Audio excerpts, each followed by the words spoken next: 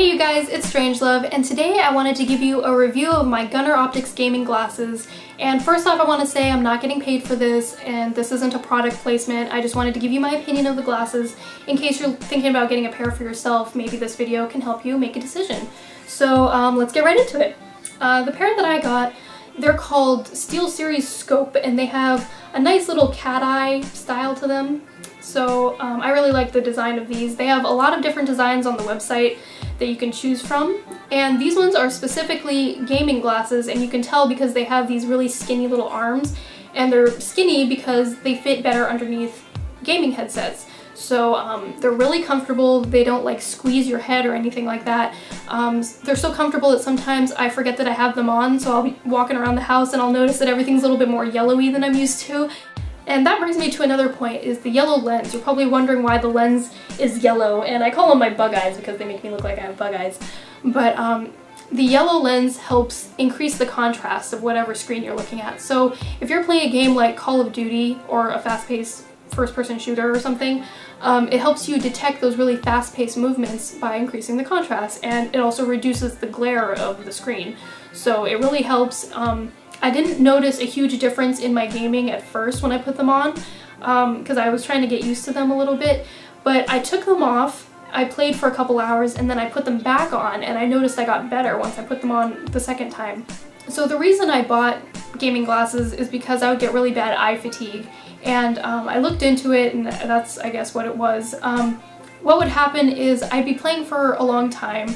Whenever I play, I play for like two or three hours at a time at least and my eyes would start tearing up, they would start burning and hurting, uh, I would look like I was crying because I was in pain and it's I guess due to eye fatigue. Also, when I would get done playing, I would go to sleep and wake up with a really bad headache and all of those things have gone away since I've been using these.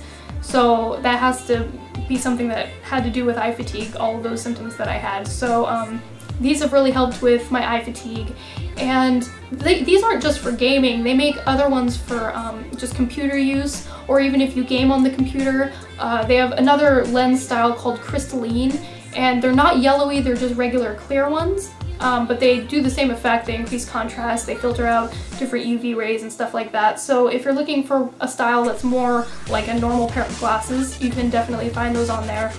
And also, um, if you need to wear a prescription, like if you normally wear glasses anyway, you can get these in prescription. You just have to buy them off the website. And they have some other eye doctor that they make you go through to make prescription lenses, but you can definitely do that. But otherwise, these are 2020 ready.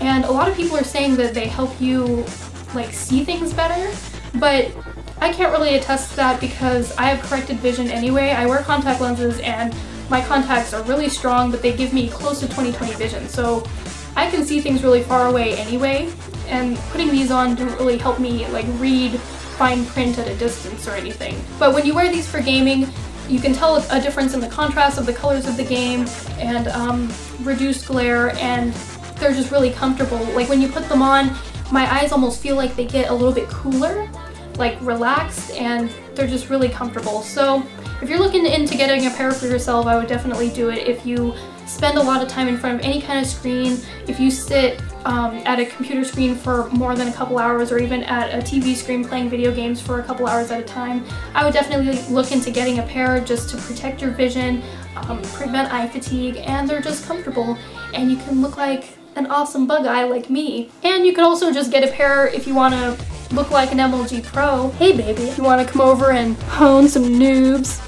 I got these off Amazon and they came in the original packaging, but the box was actually really hard to open, so that's why I didn't do an unboxing because I would have looked pretty ridiculous opening the box. Um, but it's that really hard plastic and even a heavy duty pair of scissors has a hard time cutting through that kind of plastic, so um, just be really careful when you open the box. I was afraid I was gonna break the glasses. But um, they came with this little pouch thing to keep the glasses safe and to store them in, but since these are so flimsy and fragile, I would recommend getting like a hard case to put your glasses in. I haven't gotten one yet, but I'm pretty clumsy, so that's probably a good idea for me. Another thing that I noticed about these is that they smudge really easily, so even me just holding it like this, I should probably be holding it on the sides, but um, just holding them at all, like taking them off your face will put little fingerprints on them, so I just use the pouch to wipe the fingerprints off. Um, if you have any kind of soft cloth, that should be fine too. So just keep it handy next to wherever you keep your glasses. So I hope this little review helped you make a decision as to whether to get a pair of Gunnars for yourself. Um, I'm really happy with the performance of my glasses. So if you get a pair for yourself, let me know. Um, take a picture, tweet it out to me, and we can all be bug eyes together. How's that sound? So anyway, you guys, until next time, this is StrangeLuv signing out. Thanks for watching and take it easy. Bye-bye.